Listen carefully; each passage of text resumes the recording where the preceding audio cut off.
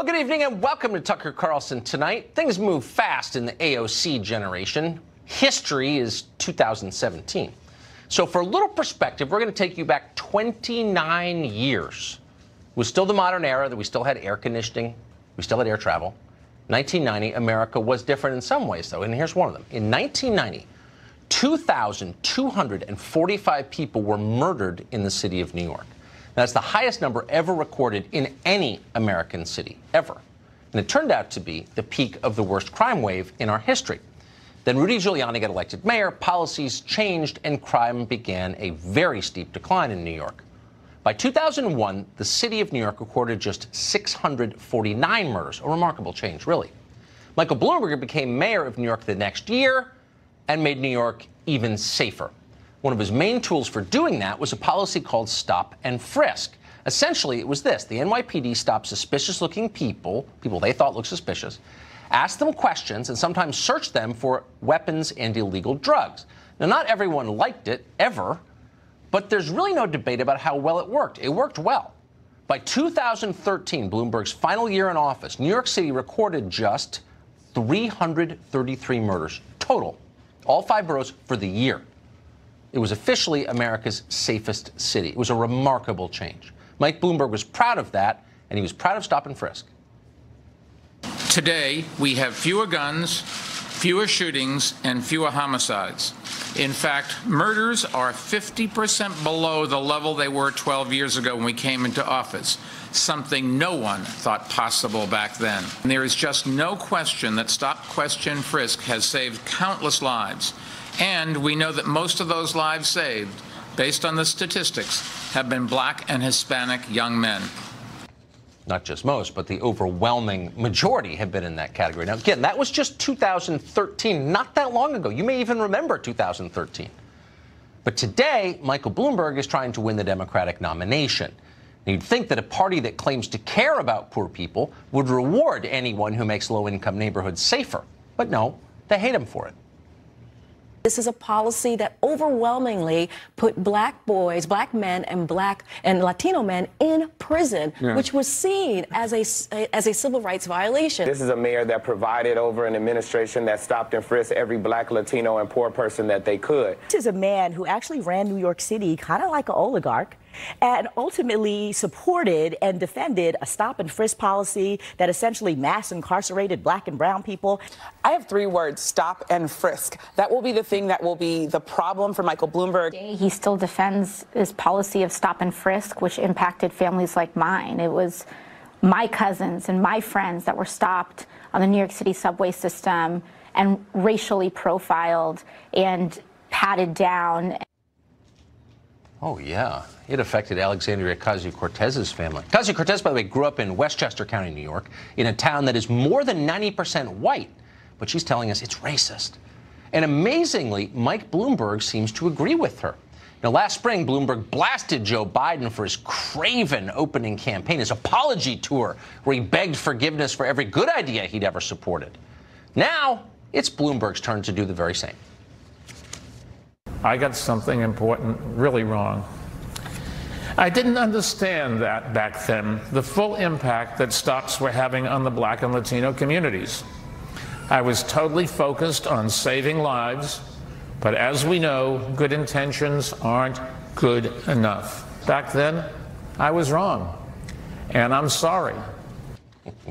Sorry, he's saying in the hostage tape you just watched. I was focused on saving lives when I should have been affirming the self esteem of teenagers who carry loaded Glocks in public. That's what Mike Bloomberg just told you. That's what the Democratic Party is making him say.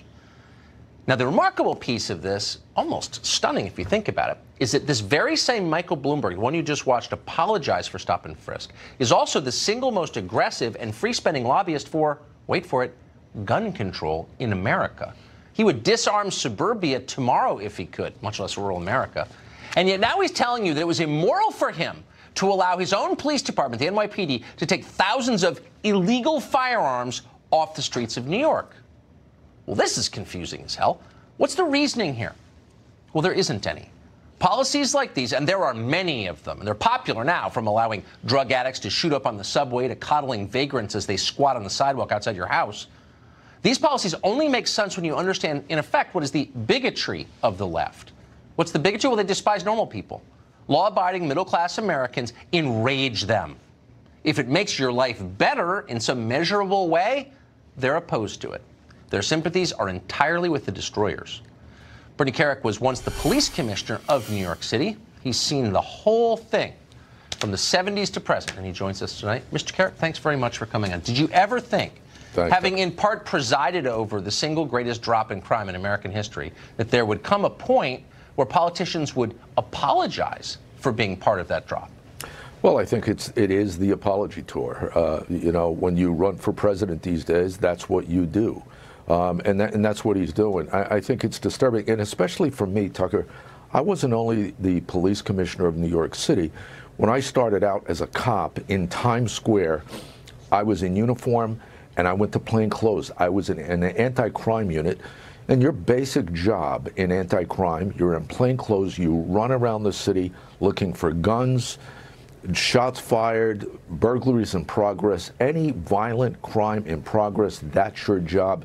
And without stop, for a question and frisk, we'd never be able to do that job. And I think Bloomberg and others like him that now denounce the policy, I think they forget how it started under Rudy Giuliani and the crime reductions, a 65% cr- reduction in violent crime between 1994 and 2002, a 70% reduction in homicide under Rudy Giuliani. This is a time when mothers were putting their babies in bathtubs, Yeah. scared to death of random gunfire. And I, I, th- I just think people forget how effective the policy was. And, and look, I think one thing that, that uh, people aren't, they, they don't realize Bloomberg's apology may be because he overused the program. He overused the program. He had six times the amount of stop and frisks that we did under the Giuliani administration. So that may be a part of the problem. Maybe that's maybe his his heartfelt uh, you know apology is is from abusing the program. Well, that wouldn't surprise me. But what does surprise me is the fact that Michael Bloomberg is, you know, the most aggressive gun control promoter in the United States, and you know, still supports all kinds of authoritarian measures to keep people from defending themselves. I, I honestly security. believe this is a guy that would take every gun. Well, ex- every okay, gun so that exactly. wasn't in So- the so- hands of the government. So here, New York City, the, the largest city in the country, had the one gun control program that I'm aware of ever that has worked in America. And he's apologizing for it, but he's still for grabbing guns from everyone else. How, how does this work? No, it's it's it do, well, it doesn't work. It doesn't work. The policy was effective. It was the most effective tool in the New York City Police Department to take that tool away. And, and listen, one more thing I want to I want to focus on. It's not just stop and frisk. It's stop, question, and frisk. It gives you the ability to stop, talk to somebody, and count to them. Uh, have a conversation with them. You don't frisk everybody you stop. That's not necessary. But when a cop has an intuition or suspects somebody of being involved in a, a dangerous crime or a violent crime or possession of a weapon, they have to have the ability to check that person out because if they didn't, we'd have thousands of more young black and brown kids in New York City dead over the last 25 years. Yeah. This wouldn't affect Alexandria Ocasio Cortez, who again grew up in an affluent suburb of Westchester. But for the people who actually live in tough neighborhoods, yeah, that, that I think would have an effect. Uh, Commissioner, thanks so much for joining us tonight. Appreciate it. Tucker, thank you. Well, the left's offensive against law and order isn't just directed at past policies. Last week, Congresswoman Ayanna Pressley of Massachusetts unveiled her version of a Green New Deal, but this is for crime. It's a big plan. There's a lot. We could spend all hour talking about it, but some of its provisions include these ban life sentences, all life sentences, ban the prosecution of minors as adults, okay, legalize prostitution, decriminalize the theft of, quote, necessary goods, remove police from public school, and far more. It even includes a provision for reparations based on skin color for good measure, though it's not clear what that has to do with justice because, of course, it's the opposite of justice. Ian Samuel is a former Supreme Court clerk, and he joins us tonight. So, Ian, thanks so much for coming on. This is a this is a big uh, proposal. Some of it probably is non-crazy. A lot of it is crazy. I mean, it's sort of hard to generalize about it. But let's just take a couple issues in there specific because I think they're interesting. One is decriminalizing prostitution. So, how can we be against human trafficking, which is really another word for abetting prostitution? and yet decriminalize prostitution. Is the idea that women are prostitutes because they want to be, because they think it's like a great deal for women? What is the idea? Well, you don't have you don't have to necessarily believe that. Some people do think that, and I think there's reasonable disagreement about the extent to which anybody is really free when they're selling their labor under capitalism. But that's kind of a side issue. Uh, but what you can ask is: Is the best way to do something about human trafficking to criminalize the people who are being trafficked and what they're doing, or do you want to go after it at a different level? And to me, it actually makes a great deal of sense to say if you're the person being trafficked, we don't want to make your life worse. We'd like to help you, not threaten you with jail. We want to go after the people like you know Epstein and you know Trump and the Clintons and everybody else Or- who's actually doing the trafficking. Prince or, Andrew, or the, or the, or the pimps. I, I guess here's here's here's the bottom line principle, which is always true. When you criminalize something, you get less of it. Now, some things shouldn't be criminalized just on principle, but the truth is, like cirrhosis deaths went way down under prohibition. No one wants to say that, but it's real. So if you legalize prostitution, when you legalize people camping on the sidewalk, you get a lot more of it. And that affects the lives of everyone else. So what about their rights? I guess is my question. Well, I'm not sure you get a lot more. I mean, of course, you're going to have every policy is going to have some effect, but the question you have to ask is putting somebody in a prison, a dungeon, that's a big, big idea, right? That's a big intervention. And you have to ask, is this, you know, say you've got somebody who's sleeping on the street or they're urinating in public because they don't have anywhere else to go to the bathroom. Now, I agree, if you threaten to put those people in jail, you may get a little less of it. But you have to ask, is that really the way you want to solve, like, Well, I don't know. Urination it all and not having it a place to go to the bathroom? It all it all depends. I mean, so like let's say I live if people are camped out on my sidewalk defecating in front of my front door and I've got little kids. I mean, I have rights here too. So having Yes. the ability to say, you know what, go do it somewhere else. You can't do it here. I worked hard for this house. Buzz off, leave. You're freaking my kids out. Like a normal society recognizes the right of a person to say those things, but the left doesn't totally- because no, they I side totally- yeah. wholly with the deviant 100% of the time. It's the person who gives the finger to society, who tries to tear down what the rest of us have built. They're on his side every time. Well, I don't know about that. I do think going to the bathroom is actually not such a deviant behavior, but I agree with one thing you said, which I, agree with one thing you said, which is we can't have a society where we just treat as normal, hey, a lot of people just have to go to the bathroom on the sidewalk because they don't have any other place to do it. I just don't think the right answer is, well, we're going to put you in jail and you can go to the bathroom there. Like, that's that's a solution. It's just not a very good one, nor is it And- particularly and actually, I'm kind, not arguing Christian, for or anything else. What I'm arguing is that when you quote decriminalize it or decriminalize theft, as they have in California, what you're basically saying is the chaos that the tech oligarchy has given us is like totally normal and okay. And if you complain about it, you're against civil rights. When in fact, if you complain about it, you're just a normal person who wants to live in an orderly, clean society. Oh, what are you going to criminalize the theft of bread? You don't like Les Miserables? I mean, what, what are you talking about? I mean, and by the way, the tech guys are the ones that hate the new San Francisco DA the most, which is a reason to love him if there ever was one.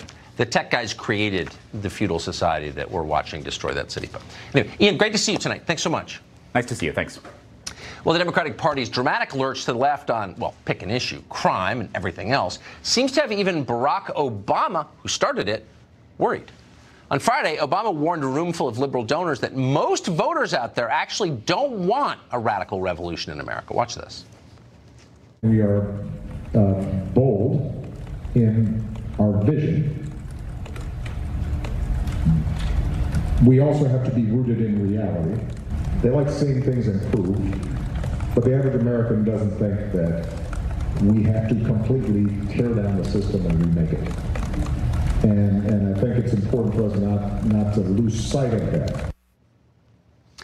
Now, you may have forgotten, but Barack Obama won two elections in a row pretty comfortably both times. Now, he's too far right to get the Democratic nomination. That's not speculation. It's literally true. The party's cadre of Red Guards would not have him. Case in point, Congresswoman Ilhan Omar tweeted this on Saturday, quote, if being too far left, hashtag illiterate, believes means believing health care is a human right, future generations should live on a healthy planet, all student debt should be canceled, the minimum wage should be $15, lives depend on gun reform and families don't belong in cages, comma, count me in! Exclamation point, arm flexing emoji. Richard Goodstein is a lawyer and former advisor to Bill and Hillary Clinton. He joins us tonight. So, are you for the exclamation point and the arm flexing emoji? Does that describe your feelings on the subject? I think in this case, Ilhan Omar is really